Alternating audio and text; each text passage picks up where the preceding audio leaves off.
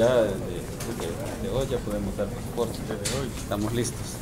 El director de Migración le muestra al ministro de Justicia y Seguridad las nuevas instalaciones de la sucursal en el Centro Comercial Pasatiempo, ubicado en el kilómetro 25 y medio de la carretera a Santa Ana, en Lourdes, Colón.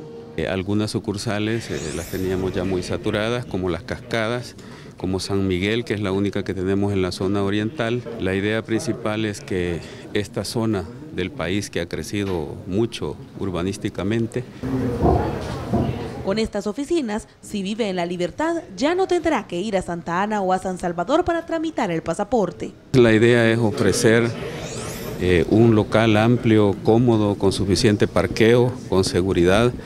Tanto los que vienen como los que se van de alguna manera. Es una buena noticia para la población, asegura Cruz Calles de la Iglesia Luterana.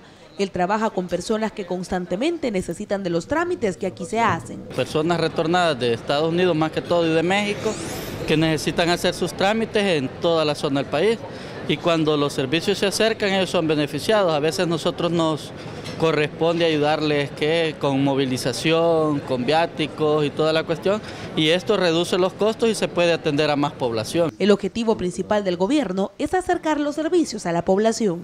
En este lugar podrá hacer todos los trámites migratorios. Tendrá abiertas sus puertas de 8 de la mañana a 4 de la tarde. Se convierte en la séptima sucursal. La próxima a inaugurar estará en Usulután.